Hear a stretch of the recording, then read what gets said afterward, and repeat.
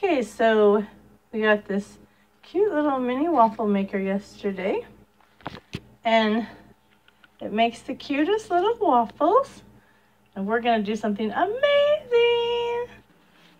So I don't know if any of you have seen this machine before, but it's a sandwich maker. This one is by Hamilton Beach. And it can make two at once. Super cool. Just like the ones you get from McDonald's. You pop all your ingredients in here and you make your breakfast sandwich at home. Healthier, cheaper. Anyways, then we saw the mini waffle maker. Super cute, little tiny waffles. And we had a brilliant idea. What if we make a bunch of mini waffles and then we make breakfast sandwiches with waffles? Oh my gosh, I'm so excited. Okay, so the first thing you do is you plug it in, and then when the preheat light goes off, then it's ready to use. So we'll lift those top layers up, and we're gonna spray a little bit of nonstick spray in there. And then we'll set our waffle with the cheese on it in the bottom like that. And then we'll put our sausage on top of that. Sorry, struggling. Ah.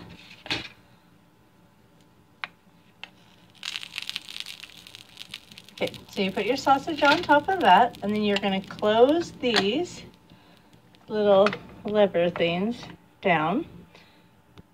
And then you will spray the top of those just a little bit.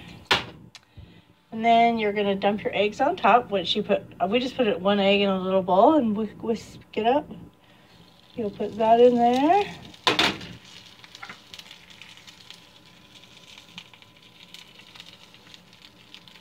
And then you close it and you set the timer for three minutes. This is my first time doing this. There, so three minutes. And then when the timer goes off, we'll get back. So it's just counting down the last 30 seconds and the eggs should be done. I really like this. It makes a fun little breakfast sandwich. Way cheaper and better than McDonald's. And you can put whatever you want on there. We're trying waffles today, but we've done bagels, obvious English muffins. We've done biscuits. Um, Coco's favorite is just a simple little hamburger bun. Okay, so I don't know if it just stops beeping or I don't know. We'll let it beep for a second. So then you lift the lid and the eggs are done. And then we'll put our, we're almost done, good enough and you'll put your second waffle on top and then we set the timer for one more minute and wait. This little sticker that came on it shows lots of variations. You could do like just egg whites. You don't have to pop the yolk if you don't want. This one shows like a pepper ring. That'd be yummy. There's ham. Coco always has ham on hers. Anyways, we're almost done.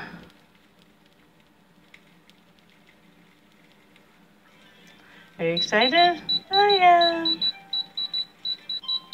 Okay, so you lift the lid and then you, I've never done this, but they always make them. And then you, oh, you slide the sides out. Okay, and then I'm assuming we just lift up on this. Bravo! Oh, and I guess I should unplug it. There we go. And there is our wonderful breakfast sandwiches ready to go. So I've moved the sandwiches to plates. And this is just a non-stick. It's really easy. You just wipe it clean once it cools. And you're ready to make breakfast tomorrow. Look at that delicious, yummy sandwich. It's got your sausage, egg, waffles. Mmm.